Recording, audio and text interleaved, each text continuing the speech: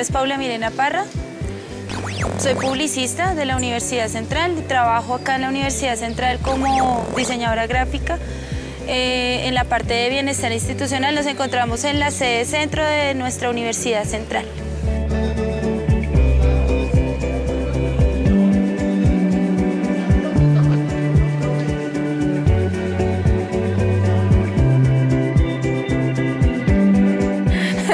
Para mí Señal Colombia es todo lo que somos. Definitivamente habla, todo ese eslogan que tiene Señal Colombia habla sobre lo que quiere transmitir, ¿sí?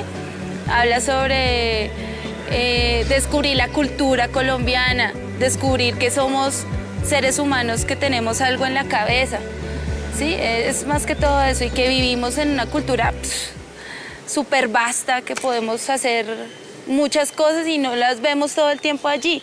Lo que nos tapa los canales comerciales, eso es lo que hace.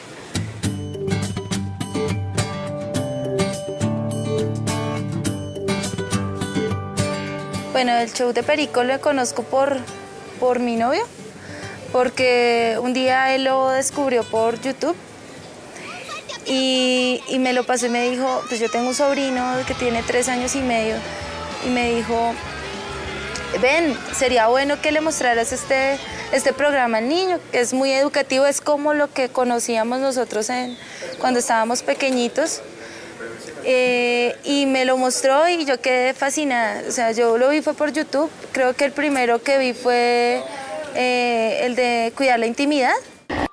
La tortuga debe contarle a un adulto de confianza cuando su espacio íntimo sea invadido. Yo creo que la respuesta correcta.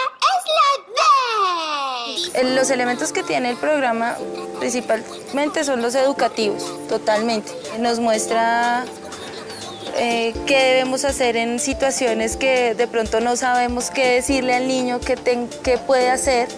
Y más que todo, pues como demostrarnos que todavía podemos ser inocentes y vivir la vida bonita, ¿sí?